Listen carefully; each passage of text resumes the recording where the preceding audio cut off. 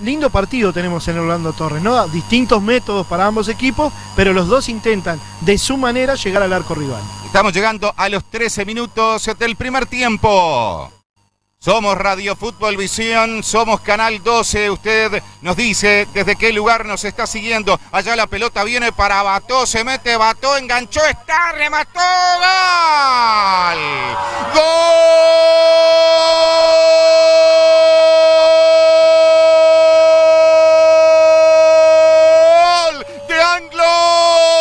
Anglo aparece o reaparece. Alan Bató es la diferencia. Alan Bató es el sinónimo del gol. Alan Bató pone en el minuto 14 del primer tiempo el tanto de la apertura. Se enloquece la gente del Anglo. Lo trajeron a Bató y reaparece el gol. Anglo 1 Laureles 0 Alan Bató, sinónimo de gol. Y llegó Bató y llegó a hacer goles. Para eso lo trajo a Anglo, para eso volvió a su equipo, al albirrojo. Una muy linda jugada porque controló la pelota, puso el cuerpo, definió sobre la salida del arquero. 1 a 0 gana Anglo.